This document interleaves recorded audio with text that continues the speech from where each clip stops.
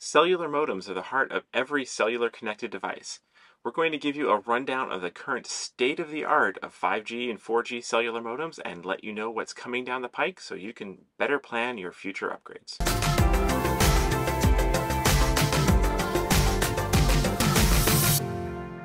Hi, I'm Chris with the Mobile Internet Resource Center, and this is a fall of 2022 update on the state of the art of 5G and 4G cellular modems. Now, cellular modems are the tiny little chip inside of every cellular device that actually manages the connection between the device and the cellular network. And you know, the modem is kind of kind of the engine that keeps you connected, and the engines keep getting better every year as new technology comes out, as the chips evolve, they get more uh, faster, more power efficient, have more capabilities, and often over time they get cheaper too. So, you know, technology evolves, things get better, faster, and cheaper. So, if you've got a cellular device that is more than just a few years old, you're probably way behind when it comes to the cellular modem technology. And, well, you know what's coming next and what's down the pipeline in the year ahead, maybe it's going to have to time your upgrades and think about when you next want to do this. You know, do a, a system upgrade. Now, both 5G and 4G modems do continue to evolve, even though most of the excitement is on 5G. So we're going to talk about the state of 5G cellular modems first. Now, in the United States, Qualcomm, chip manufacturer Qualcomm, is kind of the dominant leader when it comes to 5G chips for data connected devices in particular. Um, so the actually they're now on their fourth generation of 5G chip. The first was the X50. This was the chip that powered the very earliest 5G devices, and we warned people not to get too excited about that because that chip was mostly just a proof of concept. It was very power hungry and it did not support 4G fallback. So any 5G devices based on the X50 actually had to have a separate 4G modem inside to stay connected because there was so little 5G coverage back then. X50 devices are pretty much gone from the market and are considered obsolete now. So those early adopters, well, that's the early adopter tax, are jumping on that. The second generation chip from Qualcomm was the X55 series, and that is still mainstream today. It's been out for two years now, but it was a very, very um, solid uh, 5G chip, and it is in basically most cellular routers out there, 5G cellular routers. It's in a lot of uh, 5G devices that um, know, particularly the devices that came out in 2020. It was in the flagship phones from 2020, and things have moved on from there. Um, the one thing that the X55 lacked um, was the ability to combine multiple types of 5G together to get a better, stronger signal, faster signal over particularly in fringe areas. So Qualcomm addressed that in their next chip, the X60, which was in uh, devices like the iPhone 13 and flagship devices from 2021. That one allowed different kinds of 5G bands to be combined together. It was a pretty substantial improvement, but for whatever reason, the X60 generation of chips never made it into mobile hotspots, never made it into routers. It was basically a smartphone exclusive, probably because of all the supply chain constraints of the year 2021. Moving into 2022, the chip of the year from Qualcomm, this is now the kind of the current flagship 5G chip out there, is the X65 and its little brother, the X62. So this is the first chip that supports what's called the 5G Phase 2 standards. So this is the um, the next in the series evolution of 5G standards to support more underlying technologies between the tower and your devices. So it's actually a pretty substantial jump from the X50 and 55 and X60. And we're now just starting to see it come to data devices. Like we've got the new uh, series from Inseego, it's the M3100.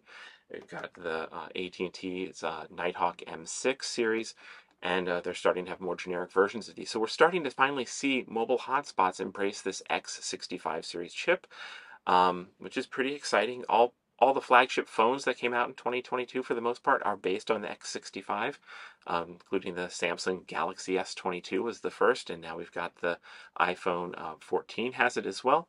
But we're still not seeing any cellular routers with the X65 series chip. And you know, we're getting actually a lot of questions of like, hey, why not? I want to invest in a high-end cellular router, but I want to make sure I have the latest cellular technology. And is this really significant? Should I wait for this? And well, Maybe. We'll kind of explain the trade offs you have there. But what we are now seeing as we get towards the end of 2022 is that the cellular modules that will go inside routers are finally showing up and testing at the FCC. So a cellular module, the, these modem modules, take that modem chip, they kind of package it with all the uh, auxiliary uh, radio electronics that they need, build it into a little module that is standardized. So when router manufacturers or other device embedded device manufacturers are designing their products, they don't have to design them around a single modem chip. They just have a little module slot inside, and they can have a single product line that supports different modem modules for different markets around the world or different feature sets. And so it takes a lot longer product wise, product cycle wise, for these modem modules to percolate through. It's not like a hotspot or a phone where the chip is built right into it. The module makers have to build the chips, bring them to build the modules, bring them to market, get them FCC certified, and then the router manufacturers can start buying those modules and embracing them into their product lines. So we've been tracking this. We've been waiting because we've got a lot of people who are kind of eager for X65 series modules to make it into routers. And we've been tracking, and there are now several companies. We actually have four that we've seen show up at the FCC that have um, submitted um, X65 series modules that will be coming to market soon. So we've got Telit, Sierra Wireless, Quectel, and Fibocom. And there's probably others that haven't disclosed press releases or FCC um, applications yet. So we know those modules are in the pipeline. We don't know when they'll actually show up in routers yet, but they're coming. Probably we'll see them, you know, start to be manufactured towards the end of 2022, which means products sometime in 2023. So don't get too excited just yet, but hey, they are coming. So we'll see a new generation of cellular routers showing up does it make sense to wait for the X65 or is the X55 series still good enough if you're looking for a 5G cellular router?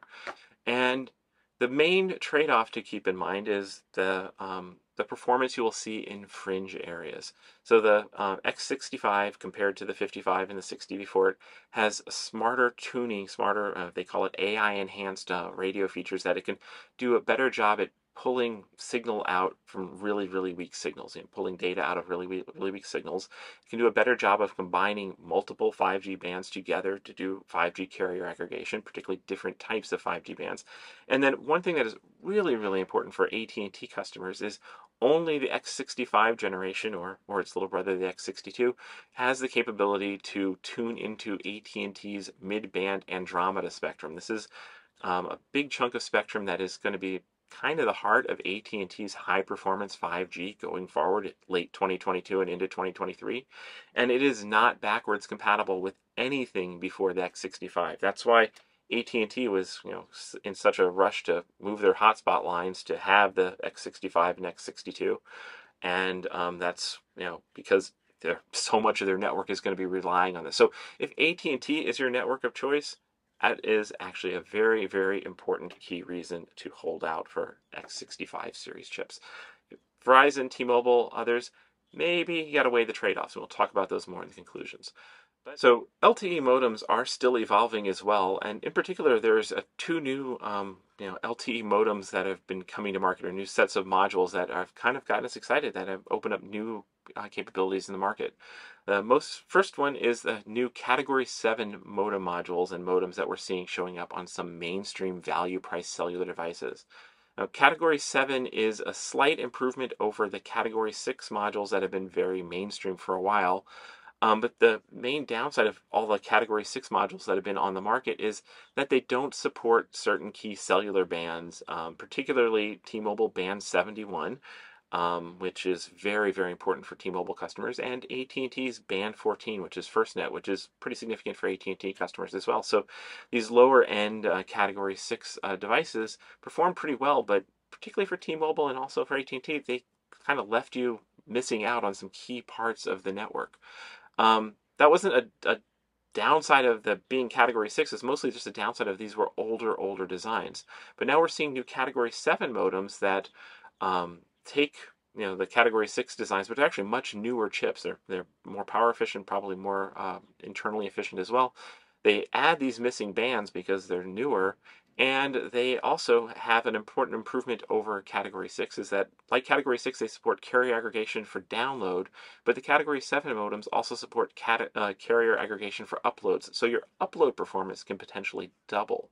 So that's actually a pretty significant improvement for what is now a very mainstream, low cost, value priced modems. And so we're just now starting to see some Category 7 um, um, modules percolate into the router market, and we're looking forward to them kind of replacing Category 6 and pushing Category 6 out the door um, because you know, more bands, better upload performance, and still value pricing is a great thing. And um, so we kind of consider Category 7 our new minimum for 4G LTE devices. If you're going to get 4G, at least get Category 7. Category 4 devices are still on market don't pay any attention to them. They're awful performers. Category 6 now has been eclipsed. Focus on Category 7.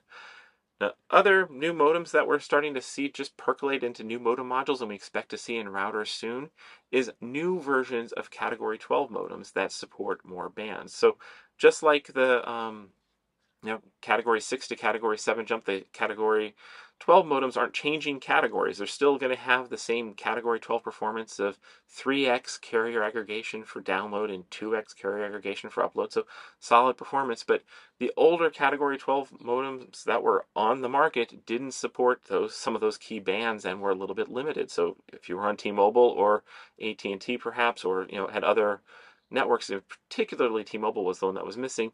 These cat- older Category 12 modules did not work with you.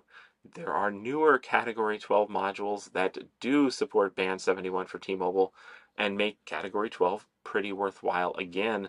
So we're going to be seeing in the very near future some routers that have newer Category 12 modules and keep your eye out for them because they're going to be kind of a substantial improvement over the older ones, particularly if you've got T-Mobile. Now we get the questions like, what should you buy if you're out shopping for your cellular device now and what should you potentially hold out for and wait for to maybe get the next generation of, of hardware? Now if you're looking for baseline 4g as we said um, it makes sense to focus on finding category 7 devices. Try to avoid category 6 category 4 and any of those um, older designs. You know baseline category 7 modems are not much more expensive than the category 6 so we expect to see it in value price products. So keep your eye on that if you're looking for just base level 4G connectivity. Now, if you're looking for a dual modem, you know, a, a, dual modem cellular router that can connect to two networks at once, and you're still wanting 4G, um, Category 12 is now actually a pretty interesting way to go. Looking for those newer iterations of Category 12. You know, Peplink kind of bridged the gap already. They've got a, a, a version of the Max Transit Pro that has category 7 and category 12, the, uh, the older category 12. But, well, if they had newer category 12s, they'd have no reason to have that kind of hybrid two different modems in, in one router version. So we're expecting to see the newer category 12s, now that we're seeing them being FCC approved, percolate out into the market. And that, for people who are looking for a dual modem 4G device, um, is probably going to be the most interesting way to go. And why would you consider a dual modem 4G device versus jumping into 5G? The, one of the main advantages of a Category 12 modem is it uses 2x2 MIMO, which means two antenna ports. And uh, 5G devices or higher Category 4G devices like Category 18 or Category 20 use four antenna ports, which means a lot more antenna cabling going to your roof. A lot more potential performance, but if you're trying to keep things simple or you already have an existing um, you know, five in one antenna with four cellular on your roof or something like that, um, going to a dual modem Cat 12 uh, 4G device is a way to just take advantage of those cables you have. But now, well, isn't it time to jump to 5G and should should people be ready to go to 5G? And indeed, 5G technology has gotten pretty pretty good. Every 5G modem is a really good 4G modem, so even when you're not in 5G areas, it will still work great for 4G. So yeah, if you are weighing your, your trade-offs, buying new devices or you know considering upgrades, 5G is, is pretty worthwhile to consider now. Um, the networks behind the scenes are great. You know, particularly Verizon and T-Mobile have great performance in a lot of places on 5G. AT&T is going to be having a whole lot of 5G rollout in the near future, and that's actually where kind of the biggest trade-off comes into. If AT&T is your focus, it does probably make sense to wait and or get mobile hotspots, focus your, your purchases on mobile hotspots that have the X65 or X62 already, or wait for routers to have that. AT&T is really going to be benefiting from that next generation of hardware. Um, if you're not on AT&T, you know, don't don't hold back if you find a, a good 5G device that is appealing to you and fits your network installation stuff. Mainstream 5G, the X55 is still good, so feel free to get routers with the X55. Um, but if you you know can look for the X62 or X65, it will give you more future-proof capabilities. It will give you more performance in fringe areas in particular, and we're looking to do some testing to really kind of prove prove that out. But that's that's what it should be on paper, and you know that's kind of the trade-offs. Is like you know decide to get 5G now, go mainstream, or get a hotspot, um, or hold off. It might be sometime in 2023, hopefully the first half of 2023, that we'll start to see these next generation of modem modules percolate into routers. So we know a lot of people are waiting for that and been holding back for you know actually years now because the whole router industry skipped over the uh, X60 generation. So you still have a bit longer to wait, but the technology is coming. We see it percolating through the FCC pipeline, and well, there's an exciting future ahead, no matter what kind of technology you want to embrace. These videos are brought to you by our premium members, our mobile internet aficionados. They make it possible for us to track this news and create these videos. If you like this video, please give it a thumbs up, leave a comment, subscribe to our channel, or better yet, consider becoming a member yourself.